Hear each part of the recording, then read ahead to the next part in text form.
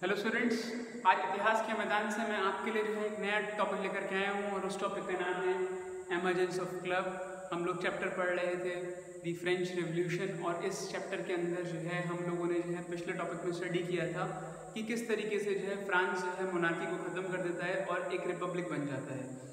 France में हर आए दिन जो है उस टाइम पीरियड पर कुछ ना कुछ एक नया डेवलपमेंट हो रहा था और अब यहाँ पर जो है पॉलिटिकल क्लब्स जो हैं वो आपके सेटअप होने स्टार्ट हुए थे। इन पॉलिटिकल क्लब्स का जो है फ्रांस के डेवलपमेंट में जो है एक बहुत ही इम्पोर्टेंट पार्ट था क्योंकि ये क्लब जो थे एक रैलिंग पॉइंट्स बन गए थे। रैलिंग पॉइंट्स मतलब ये था कि जितने भी आपके जो थर्ड स्टेट के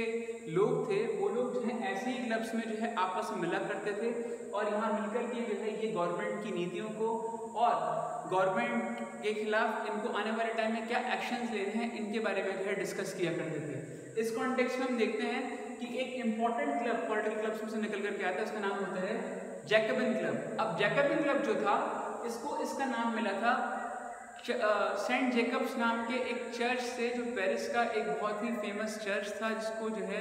यूजली लोग जो है विज़िट करते थे और अपने लिए एक ब्लेसिंग मानते हुए जो है सेंट जेकब चर्च को जो है इन्होंने जो है उसका नाम जो है अपने क्लब के नाम से जो है इन्वॉल्व किया था, उसका नाम था जैकबिन क्लब अब इस क्लब के जो मेंबर्स थे, ये ज़्यादातर वो लोग थे जो समाज के उस सेक्शन से जो है बिलोंग करते थे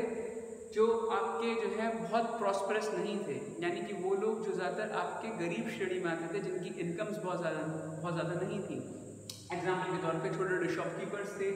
पेस्ट्री कुक्स थे वॉशमेकर्स थे प्रिंटर्स और सर्वेंट्स थे, जिनके पास में जो है बहुत ज़्यादा हाई इनकम नहीं थी। इस क्लब के जो लीडर थे, उनका नाम था मैक्सिमिलियन रॉबर्सपियर यानी कि जैकबिन क्लब को जिसने फाउंड किया था, उस व्यक्ति का नाम था मैक्सिमिलियन रॉबर्सपियर अब ये बात ध्यान रखने वाली थी, क्योंकि इस क्लब को जो है अपने आप को बिल्कुल एक कॉमन मैन का जो है प्रतिनिधि शो करना था तो उस कंडीशन में इन्होंने जो है अपने ड्रेस कोड का बहुत ध्यान रखा था। ये ज़्यादातर इन्होंने जो है अपने ड्रेस कोड में जो सबसे इम्पोर्टेंट चीज़ थी कि इन्होंने जो ट्राउजर्स जो स्ट्रिप ट्राउजर्स यानी कि धारियों वाली जो इनकी पतलून थी, वो बिल्कुल सिमिलर थी डॉक वर्कर्स से। अब डॉक वर्कर्स कौन होते हैं? वो लोग जो शिप के अंदर जो है, जहाँ पे शिप आकर के रुकते हैं, जिन हैंगर्स पे रुकते हैं, जहाँ से सामान को जो है लोड किया जाता है, उस पर काम करने वाले जो मजदूर थे,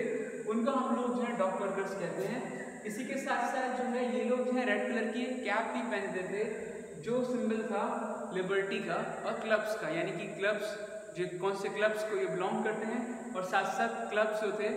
किस स्वतंत्रता के साथ में जो है काम किया करते थे? The independence of the people क्योंकि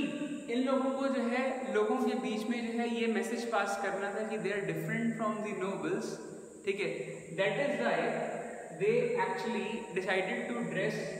with these strip trousers and red caps क्योंकि जो नोबल्स थे, वो लोग जो है नी ब्रीचेस यानी कि एक इस ऐसा क्लोथ पहनते थे, एक ऐसा ड्रेस पहनते थे जो सिम्बलाइज करता था कि वो लोग जो है हाई क्लास हैं, वो लोग जो है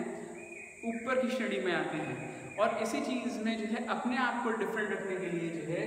यहाँ पर ये जो क्लब के मेंबर्स थे, ये लोग जो है ये स्ट्रिप ट्राउजर्स पहनते थे। आगे हम देखते हैं क्योंकि ये लोग जो स्ट्रिप ट्राउजर्स पहनते थे and they were not wearing the knee breeches that is why in club के मेंबर्स को जो है सेंस क्यूलॉट्स भी कहा जाता था, यानी कि those without the knee breeches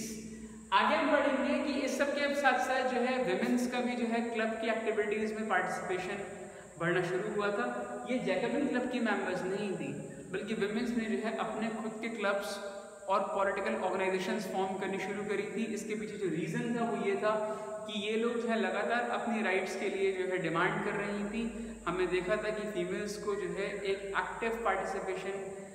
active citizen का दर्जा नहीं मिला था। They were considered as the passive citizen that is why women actually form their own political groups and clubs ताकि आने वाले टाइम पीरियड के अंदर जो है ये एक मंच के माध्यम से जो है अपनी मांग को आगे रख पाए। अब हम पढ़ेंगे इमीडिएट रीजंस के बारे में। लोगों के बीच में जो है किंग लुई सिक्सटीन को लेकर ये गुस्सा लगातार बढ़ता जा रहा था और इसी कॉन्टेक्स्ट में जो है 1792 में जैकबिन्स ने जो है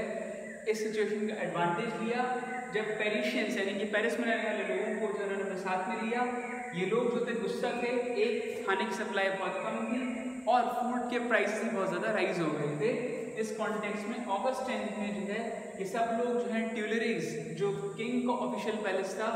वहाँ पर जो है जैकबिन क्लब के मेंबर्स जो हमला कर देते हैं। वहाँ पर एक किंग्स के गार्ड्स को जो है, मौत के घाट उतार देते हैं और उसके बाद में ये किंग को जो है, बहुत घंटों के लिए जो है, अपना होस्टेज बना के रख लेते हैं। यानी कि आने वाले टाइम पीरियड के अंदर जो है किंग को जो है,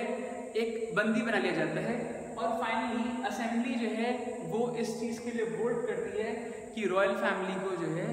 कैदी बनाया जाए। कल हम लोग जो है, जो नेक्स्ट टॉपिक पढ़ेंगे, वो पढ़ेंगे द राइन ऑफ़ टेर थिंकलेस